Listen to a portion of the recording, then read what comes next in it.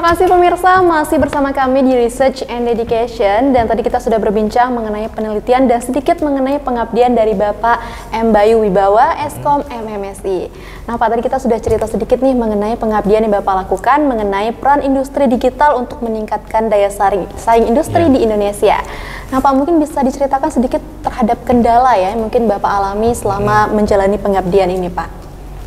Um, kalau untuk melaksanakan pengabdian ini alhamdulillah tidak ada kendala. Alhamdulillah pesertanya juga sampai dengan ribuan ya kemarin itu. Karena kita buatnya secara apa namanya daring secara daring. Jadi kita sebarkan apa poster kemudian link pendaftaran. Alhamdulillah itu juga live di YouTube juga. Jadi eh, apa namanya penonton itu bisa langsung melihat kegiatan webinar kami itu di, di YouTube.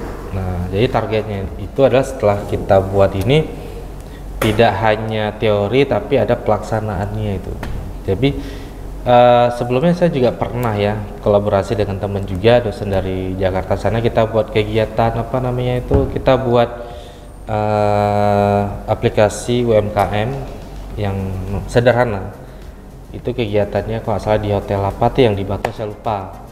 Nah jadi itu ada selama tiga hari kita buat training di situ dan apa namanya jurnal juga sudah terbit sekitar tiga tahun yang lalu. Jadi masih ada korelasinya dengan uh, apa namanya uh, peran teknologi digital nih. Ke depannya itu pasti semakin ke depan teknologi kan semakin maju. Jadi kita tidak bisa apa lengah ataupun uh, apa tidak bisa tidak menggunakan teknologi itu untuk ke depannya seperti apa. Itu dia mungkin itu dulu Oh iya Pak, tadi hmm. kita udah mendengar ya nih Pak ya, dan tentunya pemirsa mengenai pengabdian dan penelitian. Nah Pak, mungkin bercerita sedikit mengenai pengalaman Pak Bayu nih Pak, selama hmm. menjadi seorang dosen. Mungkin ada nggak sih pengalaman yang paling menarik dan mungkin sampai sekarang masih teringat nih Pak? Pengalaman di bagian apanya nih? Apa aja? Apa aja, baik itu dari segi mungkin dari segi menemui mahasiswa kan pastinya banyak sekali karakter ya Pak ya. Mungkin dari ya. situ boleh atau mungkin hmm. dari hal lain pengalamannya itu kalau pengalaman mengajar mungkin dari yang dulunya kita mengajarnya hanya dengan menggunakan spidol kan? Tapi semakin ke depan ini ya alhamdulillah Budia kan update. Update kita kalau tidak bisa tatap muka kita bisa uh, daring. Karena waktu covid kemarin itu ya full kita itu itu, itu daring. Kalau dengan mahasiswa itu ya nama juga mahasiswa man, hmm, apa mereka yang baru lulus dari SMA itu mungkin masih kebawa gaya-gaya SMA-nya itu ya kita wajar. Artinya kita sebagai dosen itu peng, apa namanya uh, kita coba ikuti alur mereka tapi kita bawa ke kita gitu ya. Ya kita nggak bisa langsung memahami mereka tapi kita tegurnya itu secara secara baik ya supaya bagaimana cara mereka itu tidak malu kalau kita tegur seperti itu.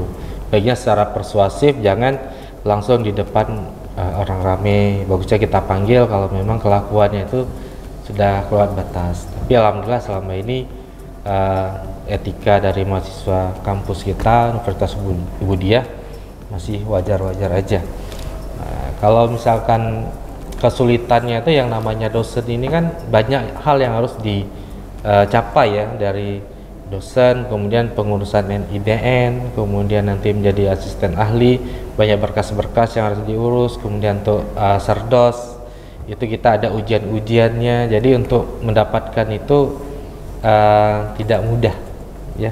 Jadi harus harus harus serius dan ya yang nama dosen juga harus tekun dan update ilmu update itu ya, harus Pak, ya? Uh, jadi untuk menjadi seorang dosen tidak hanya mengajar mahasiswa yeah. saja, tapi masih ada hal lain nih yang memang harus hmm. dilakukan dan dijalankan oleh seorang dosen yeah. ya. Jadi memang untuk menjadi dosen ataupun guru itu memang adalah tugas yang sangat mulia nih pemirsa. Hmm. Dan tadi kita sudah menjelaskan mendengarkan nih termasuk tadi kedua itu penelitian dan pengabdian nih. Nah mungkin dari Pak Bayu sendiri ada nggak sih pesan-pesan kepada pemirsa semua tadi hmm. mengenai penelitian dan juga pengabdian Pak Bayu?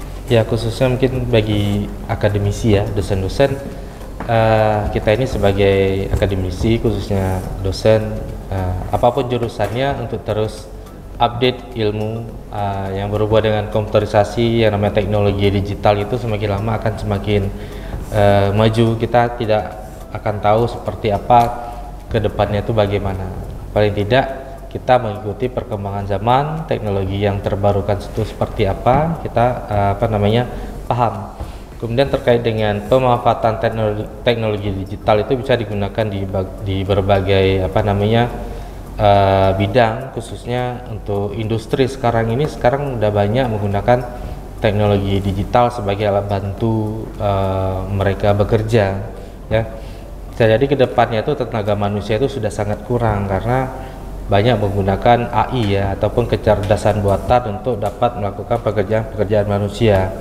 Yang berbahaya dapat dilakukan oleh robot mungkin yang dilakukan oleh manusia itu aja yang kecil-kecil. Contohnya aja misalkan seperti bank ATM ya. Sekarang kita sudah jarang melihat antrian di kasir hmm. tapi sudah bisa langsung di ATM yang dulu cuma bisa tarik sekarang bisa transfer dan sebagainya.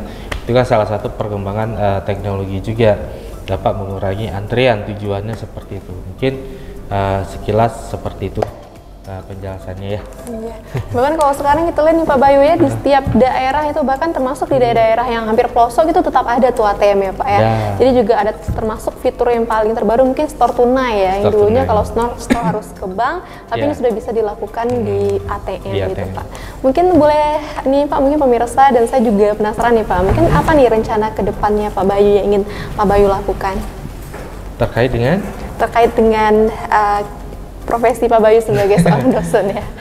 Iya, untuk ke depannya karena sekarang ini kan uh, tingkat pendidikannya masih S2, ada rencana untuk uh, lanjut ke S3, kemudian lebih meningkatkan kualitas penelitiannya seperti itu.